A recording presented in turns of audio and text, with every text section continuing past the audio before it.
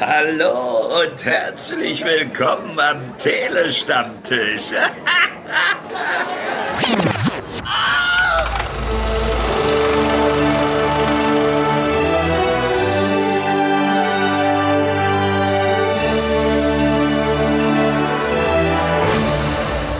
Herzlich willkommen zu einer neuen Review zusammen mit Lasse. Hallo Lasse. Hallo! Und mit mir, Britt-Marie. Und wir reden heute über den großen griechischen Olymp, nämlich über die Serie Percy Jackson. Endlich ist sie da, nachdem sie ja schon verschoben wurde und ach, es so viele Probleme im Vorfeld gab und jetzt kommt sie. Und du hast sie gesehen, Lasse. Was kannst du uns über Percy Jackson erzählen? Nun ja, jedenfalls die ersten vier Folgen wurden uns zur Verfügung gestellt, was ziemlich kacke war, denn die vierte Folge endet mit einem gemeinen Cliffhanger. Aber das haben halt auch so Fernsehserien so an sich. Ja, zunächst mal muss ich sagen, dass ich keinerlei Beziehung habe zu der Buchvorlage. Ich weiß, dass sie existiert und ich kenne die beiden Filme, die darauf basieren, in Anführungszeichen, weil ich weiß auch, dass Fans der Bücher die Filme allgemein nicht wirklich mögen. Aber ähm, dazu, mehr dazu. Ähm, ich war an der Serie interessiert, weil ich die Beteiligten mag und entsprechend dachte ich auch mal schauen, was das so ist. Ja, aber letztendlich für all diejenigen, die tatsächlich überhaupt nichts wissen von der Buchreihe, da geht es letztendlich um den jungen Percy Jackson, welcher am Rande des Teenager-Werdens entdeckt, dass er göttliche Kräfte hat. Und zwar, dass er ein Offspring ist von einem griechischen Gott, welche immer noch in der Welt schalten und walten, ganz besonders in Amerika aus irgendeinem Grund. Und nachdem er seine Mutter verliert bei einer Verfolgungsjagd, aber sich doch relativ schnell rausstellt, ah, er kann sie vielleicht noch retten, macht er sich mit zwei FreundInnen auf den Weg, um sie zu retten auf eine Mission. Das ist einmal Annabeth, die Tochter von Athene, also von, von der Göttin Athene, und dann noch mit seinem Freund Grover, welcher ein Satyr ist. Und ja, letztendlich erleben die Abenteuer, die mit den griechischen Sagen und mit den Wesen da entsprechend zu tun haben. Also werden sie auch gejagt von Wesen aus dieser Welt. Und es ist insgesamt für Leute, die Harry Potter kennen, es ist in dem Sinne so ein bisschen ähnlich, wo dann halt diese magische Welt existiert, so unter der Nase der echten Menschen, aber es gibt so bestimmte Mittel und Wege, wie sich die eben halt verbergen können von den echten Menschen. Und ja, es ist eben diese Urban Fantasy in dem Sinne. Und das ist eigentlich das Wichtigste, was man dabei wissen muss, wenn man sich darauf so einlassen kann, auf dieses griechische Sagenzeugs in unserer echten Welt und halt verpackt in diese YA-Abenteuergeschichten, dann kann man damit, schätze ich mal, ganz gut Spaß haben. Ich meine, der Erfolg der Buchreihe spricht ja für sich, die ist immer noch sehr beliebt. Ja, ja, ja. Ich habe sie gelesen, ich habe sie gehört, ich habe sie auch in Filmform gesehen und jetzt, wie gesagt, war die Serie dann dran, beziehungsweise die ersten vier Folgen. Und ich sitze hier und möchte eigentlich gleich alles auf einen Schlag am Stück sehen, was ja natürlich nicht geht. Und ja, es ist eine klassische Coming-of-Age-Geschichte. Deswegen ist der Vergleich zu Harry Potter vielleicht jetzt auch gar nicht so verkehrt. Es ist nicht nur eben diese magische Welt, die ähnlich geartet ist, sondern eben auch die Entwicklung der Figuren. Also ich meine, Percy Jackson ist zwölf, beziehungsweise ich hätte jetzt fast gesagt, die anderen auch, aber das stimmt nicht ganz, weil die sind, die sehen aus wie zwölf, aber die sind älter. ich glaube, Grover ist 24, oder? Ja, egal. Nichtsdestotrotz, äh, Oh, ja, ja. Ist, äh, ist, ist zwölf und gerade so, ich sag mal, vor Pubertät, Pubertät und es sind ja mehrere Bände, das ist Band 1 und dann kann man sich vorstellen, dass wir klassisches Abenteuer in Kombination mit Coming of Age haben. Und das ist Harry Potter ja auch. Bisschen Magie noch mit reingeschmissen, hier ist noch ein bisschen griechische Mythologie mit reingeschmissen. Da übrigens äh, ganz spannend, die griechische Mythologie, die hier verarbeitet wird oder auch immer wieder in Ansätzen dabei ist. Kanntest du da einiges oder war das dir auch eher fremd? Nee, tatsächlich bin ich mit griechischen Sagen groß geworden, weil wir hatten eine sozusagen Hörspielreihe, wo ähm, die, die griechischen Sagen kindgerecht vorgelesen wurden. Aber kindgerecht hat trotzdem nicht das ganze Blutvergießen und so weiter ausgespart. Das ist auch schwierig bei den griechischen Legenden. ja, absolut. Ja, aber deshalb kenne ich mich relativ gut damit aus. Fandest du, dass die hier gut in die Erzählung mit eingewebt worden sind? Ich finde ja. Also das, das Praktische an dieser Serie ist, jedenfalls von dem, was man so bisher sieht, ist, dass es funktioniert für, für Newcomer ganz gut. Halt Leute, die vielleicht vorher nichts mit den griechischen Sa Sachen und so zu tun hatten. Man wird trotzdem ganz gut reingeführt, dass man irgendwie schnallt, ah, okay, gut, das ist das und das ist das und so weiter und so fort. Ähm, was dann vielleicht ein bisschen redundant ist für Leute, die sich ein bisschen besser damit auskennen und dann so denken, ah ja, ja, ich, ich weiß, ich weiß, wer Poseidon ist und so und ich weiß, wer dies und das ist und ich weiß, wer, wer Medusa ist und so weiter. Und deshalb ist es ein bisschen zweischneidiges Schwert, aber ich glaube, die finden an sich doch eine ganz gute Balance zwischen Einmal halt der ganzen Lore und andererseits der Charakterentwicklung. Ich ein bisschen Problem mit der Serie hatte ich, dass sehr viele Szenen sind einfach nur Charaktere reden Exposition. Das, das wurde, das wurde so ein bisschen, wo ich dachte, ja, okay, get on with it. Aber das ist letztendlich auch so ein bisschen dem Genre geschuldet, schätze ich mal. Und in der Art und Weise, wie sonst, bringen wir das dann wirklich dann so ganz gut rüber. Vielleicht hätte man da noch irgendwie ein bisschen visueller bessere Mittel finden können. Aber was für dich hilft, ist, dass sie eine sehr gute Besetzung gefunden haben, der man dann auch gerne zuschaut bei dem ganzen Zeug. Die Serie ist auch so strukturiert, dass es so ein bisschen, jetzt passiert das und jetzt gehen wir dorthin und dort passiert das und dann müssen wir von dort fliehen und dann passiert dieses und dann wird das aufgedeckt und so weiter und so fort. Aber ich meine, das ist ja auch ich, ich, bin ja auch jetzt nicht hundertprozentig die Zielgruppe, also jemand meines Alters, sondern das ist definitiv halt gemacht für schon ein bisschen ältere Kinder und ich finde, was das angeht, dann findet die Serie ein gutes Pacing und hat eben aber auch sehr lebenswerte Figuren und sehr gute Schauspieler und Schauspielerinnen dafür gefunden. Das wäre meine nächste Frage an dich gewesen. Schauspieler. Standouts oder ja, okay. Ich, würd, ich würde sagen, dass es definitiv hier und da so gewisse Standouts gibt. Ich finde einmal, dass das Main äh, Kids Trio fand ich war sehr gelungen und die kommen sehr gut miteinander aus, halt jedenfalls in dem, in dem Sinne, was so Screen-Chemie angeht, weil die müssen erst so ein bisschen zueinander finden innerhalb der Handlung. Und es gibt halt Streitereien und Angiften und so weiter, aber ich finde, die machen das alles richtig super. Ich fand es ein bisschen abdeckend, der, der Hauptdarsteller von Percy äh, Walker Scobell, der sieht aus wie ein junger Freddie Highmore wo ich dachte, sind die miteinander verwandt? Da war ich tatsächlich ein bisschen irritiert von. Aber ich finde, was an seiner Rolle so toll ist, er wurde zwar irgendwie aufgezogen mit diesen ganzen Sagen, aber trotzdem ist er neu in dieser Welt und muss sich da reinfinden. Und er hat so eine trockene, leicht genervte Art, wie er auf die meisten Sachen reagiert. Und das fand ich irgendwie sehr erfrischend. Es ist nicht irgendwie dieses oh! oder, oder wie auch immer, oder halt er ist irgendwie dann super begeistert und beeindruckt. Halt meistens ist es so von wegen, Gott, was ist denn das jetzt?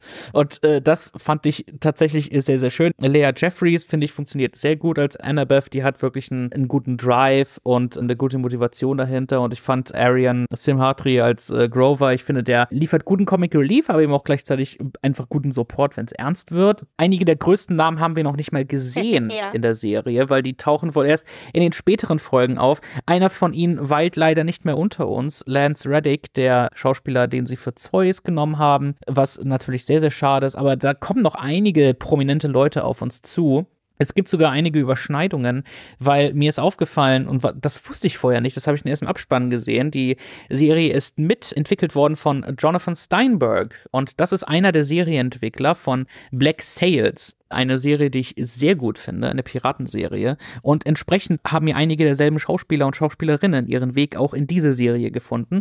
Und er hat auch für die Musik Bear McCreary und sein Team mit mhm. reingebracht. Also da gibt es einige ähm, Überschneidungen, was ich dann doch ganz, ganz cool fand. Aber was, was war denn jetzt dein erster Eindruck von diesen Folgen, die wir sehen durften? Ich fand's cool. Mir hat's sehr gut gefallen. Ja, du hast recht. Ich bin, ich bin vielleicht zu unkritisch heute, ich weiß es nicht.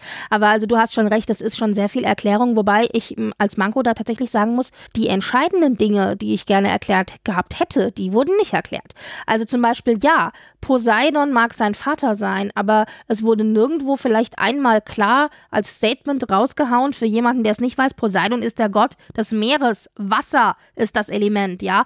Weil warum jetzt plötzlich da Wasser so wichtig ist und ein Percy Jackson da irgendwie plötzlich mit Wasser umgehen kann, das fand ich wurde nicht so klar. Ja, das, das stimmt. Die, bei der großen Enthüllung in, in Folge 2, da rufen sie irgendwie seinen Titel aus, aber daraus wird nicht wirklich irgendwie, die sagen irgendwie Meister der Stürme oder sowas. Aber das, äh, das, das erklärt nicht hundertprozentig, ah, okay, Meeresgott. Ja, in, in, dem Sinne verlassen sie sich da ein bisschen zu sehr. Ja, aber das ging ja mit den anderen Göttern auch so. Also zum Beispiel Athene ist ja die Kriegsgöttin. Und deswegen ist mhm. ja auch Annabelle so, äh, es wird ja gesagt, sie ist so talentiert, was Strategien und sowas angeht. Und das kommt halt von ihrer Mutter eigentlich.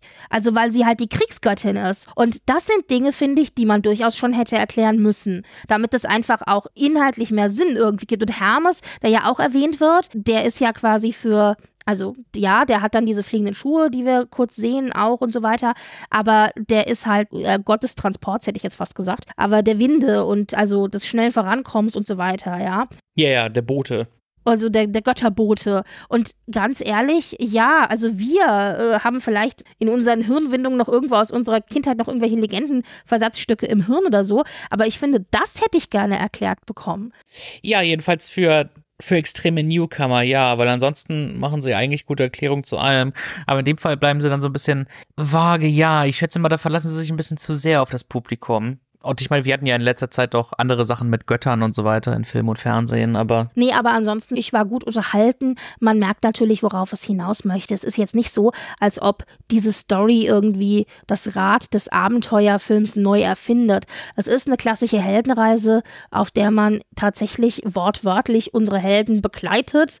Das ist halt, du hast ein Problem, sie müssen sich auf den Weg begeben, auf dem Weg äh, begegnen sie anderen Problemen, diese Probleme müssen sie lösen, bis sie am Ende dann im großen Finale ankommen. Ja, das ist nicht neu, aber ich finde, das ist trotzdem nett verpackt und ich kann mir gut vorstellen, dass dann auch die Zielgruppe, für die das gedacht ist, da einfach unterhaltsame paar Stunden verbringt. Ich meine, selbst ich tue das und ich bin nicht die angedachte Zielgruppe. Ja, ja, so ging es mir auch. Ähm, ich, ich finde wirklich, die haben hier einen, einen, guten Job gemacht, den richtigen Vibe zu machen. Die lassen sich an den richtigen Punkt genug Zeit. Man hat die zwischenmenschlichen oder halt Wesenbeziehungen, je nachdem, mit wem man es zu tun hat. Ich finde, das funktioniert alles sehr, sehr gut. Der Cast ist sehr, sehr liebenswert. Ich fand Jason Manzukas, der hat ein paar kurze Auftritte als Dionysus. Ich finde, das hat ja. sehr gut funktioniert vom Humor her. Ich finde, Glenn Turman als Chiron war eine wunderbare Besetzung. Der Typ ist eh, das ist einer von diesen Charakterdarstellern, der taucht in irgendwas auf und ich denke mir, yay, der Typ. Ja. Die haben wirklich tolle Leute gefunden und äh, visuell ist die Serie auch gut, die, die Effekte sind hochwertig. Es, es hat nicht wirklich so irgendwie diesen, ich weiß, es sieht nicht unbedingt aus wie so eine super typische jetzt Disney Plus Serie, aber obwohl es da auch ja durchaus Variation gibt. Aber auf jeden Fall merkt man halt, die haben die richtigen Leute gefunden, dass man das alles gut rüberbringt. Der Regisseur der ersten zwei Episoden ist James Bobbin, der auch schon Erfahrung im Blockbuster-Fach hat. Der hat die neuen Muppets-Filme inszeniert zum Beispiel und das Sequel Alice Through the Looking Glass also da haben die sich einen, einen Profi auch geholt. Und ich finde, ja, tonal ist es, ist es sehr gelungen. Es gibt einige etwas gruseligere Stellen. Es gibt halt Abenteuer, es gibt Verfolgungsjagden, es gibt Kampf. Es gibt auf jeden Fall auch lustige Stellen. Das Worldbuilding funktioniert und je nachdem, wie das jetzt alles ankommt und so weiter, würde ich dir natürlich gönnen, dass es dann auch weitergeht mit dem ganzen Zeug, dass sie da entsprechend noch sehr viel mehr ausbauen können. Ich jetzt als, als jemand, der jetzt nicht wirklich, also der jetzt kein Fan der Bücher ist, einfach dadurch, dass er sie nicht gelesen hat. Aber ich denke mal, dass Fans sehr viel zufriedener mit dieser Serie sein werden als äh, mit den Filmablegern. Ja, ich denke auch. Also wie gesagt, Produktionsniveau sehr hoch und mir ist tatsächlich positiv, äh, also das Intro, also der Vorspann quasi aufgefallen, den fand ich optisch sehr schön gestaltet und auch die Melodie, also die Intro und die Outro-Melodie sozusagen. Du hast ja gesagt, McGreary ist, McGreary ist ja dazugenommen worden. Ich finde, das hört man. Der hat so einen bestimmten Stil, wenn man, wenn man so ein bisschen weiß, was der noch so an Serien gemacht hat und so, das hört man irgendwie schon raus. Selbst wenn man nicht so viel Ahnung hat. Ja, er und, er und sein Team, die haben hier auch wirklich da gute Arbeit geleistet. Die Musik, die Mu Musik funktioniert, die macht Spaß und untermalt die Szenen und so weiter sehr, sehr gut. Ich dachte zwischendurch, haben die das in Neuseeland gedreht, aber tatsächlich wohl nicht. Hier und da gab es auch so ein paar Überschneidungen. Als Produktionsdesigner Dan Henner, der unter anderem die, die Hobbit-Filme ausgestattet hat, hier und dort, wo ich dachte, hm, aber nein, dann ist es wohl, ähm, also natürlich verschiedene Locations und so weiter hier und dort. Ich bin mir ziemlich sicher, die haben nicht im echten New York gedreht, aber dann äh, kaschieren die das immer ganz gut. Ich war sehr irritiert von einem Cameo in der dritten Folge, ganz am Schluss. Echt? Ich fand es super. Ich fand es großartig. Echt, aber ich, ich dachte mir, das kam so aus dem Nichts, wo ich mir dachte, was macht der Typ hier? Ja, weil, weil also ich finde es aber insofern ganz spannend, denn die gleiche Rollenfigur war im Film auch überraschend prominent besetzt. Deswegen fand ich es interessant, dass das in der Serie auch so prominent besetzt war. Und ich dachte, oh, okay. Ja, ich habe wohl nicht zusammengebracht, dass das dann wohl Hermes ja, sein soll. Ja, Genau. Ah, okay, gut. Weil das, das, ich dachte, das wäre nur einfach irgendwie. Aber egal. Typ. Nein, nein, nein, nein, nein. Ich meine, ich meine, dass das, das, Herm, das, das Hermes-Auftritt ist ja jetzt kein Spoiler. Ein Spoiler wäre, wenn ich jetzt sage, ja, wer der Typ ist. Man kann ja nachgucken, theoretisch. Wer, wer der Schauspieler ist. Genau. Deshalb war ich irritiert deswegen. Also ist ja Götterbote, aber deswegen sagte ich so ein bisschen amüsiert Gott des Transports, weil Hermes natürlich, aber das ist in den Büchern auch so drin, Hermes eben natürlich auch dargestellt wird als der Inhaber einer riesen Paketdienst Firma. Äh, hm, ist natürlich auch so ein bisschen doppelbödiger Witz, weil es gibt ja tatsächlich auch eine Paketdienstfirma mit dem Namen Hermes. In dem Fall ist es aber so, dass der Pakete und Post und sowas zustellt und deswegen. Das habe ich halt nicht mehr zusammengekriegt. Ich dachte mir, das wäre einfach irgendwie jetzt nur so eine random Rolle. Aber gut, in dem Fall, in dem Fall ergibt dann die Besetzung sehr ja, viel mehr Sinn. Da bin ich schon sehr gespannt, was da, was noch so weiter kommt. Ist auch definitiv eine, eine Serie, die ich dann jetzt auch dann von meiner Seite aus beenden wollen würde, weil ich dann doch neugierig jetzt bin. Ich meine, ich weiß ja allgemein, wie es dann ablaufen wird, aber ich bin dann trotzdem gespannt darauf, wie sie es, wie sie es machen, weil ich mag, ich mochte die Besetzung sehr gern, ich mochte den Vibe allgemein gerne und ich denke mir halt, dass sowohl jüngere als auch etwas ältere ZuschauerInnen könnten damit durchaus ihre Freude haben. Und jetzt gerade gegen Ende des Jahres und so weiter und so fort, wo man dann sich da eh als Familie gemeinsam vor die Streaming-Bildschirme packt, da ist das hier definitiv etwas, was für die Familie dann für kurzweilige Unterhaltung mhm. sorgen wird. Plus, was ich tatsächlich noch herausheben möchte und dann komme ich quasi auch zum Schluss, ist, ich finde ja tatsächlich, dass die Einbindung der griechischen Mythologie an einigen Stellen wirklich sehr kreativ gemacht worden ist. Also da sind manchmal Einbindungen, mit denen ich so nicht gerechnet hätte, wo ich dachte, ach, das ist ja spannend. Also ich meine, gut, Hermes ist der Götterbote, dass man ihnen dann jetzt einen Paketdienst unterjubelt, das ist vielleicht nicht so weit weg, das kann man sich schon eher vorstellen, aber es gibt auch andere Einbindungen und sowas finde ich kreativ und spannend und interessant und ist dann hier und da wirklich überraschend und das macht es dann auch ein bisschen überraschender für den Zuschauer. Das ist so ähnlich, was sie auch in Men in Black gemacht haben, wo dann sie dann irgendwie, oh, das sind echte fliegende Untertassen. Genau lassen genau, und genau, die Weltausstellung ja, ja. ist nur eine Tarnung und so weiter. Das funktioniert nach diesem Prinzip. Ja, und das funktioniert super. Ja, aber ansonsten kann ich mich ja. anschließen. Also, wir machen beide groß Daumen hoch, guckt euch das an. Wir sind auf jeden Fall sehr gespannt und gucken mit Sicherheit auch beide zu Ende und wünschen euch dann viel Spaß beim Schauen und hören uns bei nächster Gelegenheit zu einer weiteren Review. Ja, ganz genau. Ganz, ganz viel Vergnügen beim Gucken und wir hören uns. Bis denne. Sehr geehrte Damen und Herren, wertes Publikum, liebe Hörende, vielen Dank für eure Aufmerksamkeit und Zeit. Ich hoffe sehr, euch hat gefallen, was ihr gerade gehört habt. Wir, die Redaktion des Telestammtisch, betreiben ein semi-professionelles Podcast-Projekt zum Selbstmitmachen. Also meldet euch bei uns, wir beißen auf. Außerdem freuen wir uns immer über Feedback via Social Media und E-Mail sowie euren finanziellen Support. Ebenso frohlocken wir förmlich über Bewertungen auf den gängigen Podcast-Plattformen. Wer möchte, darf uns gern immer und überall empfehlen. Alle relevanten Links findet ihr in den Show Notes. Vielen Dank und bis zum nächsten Mal. Euer Andi.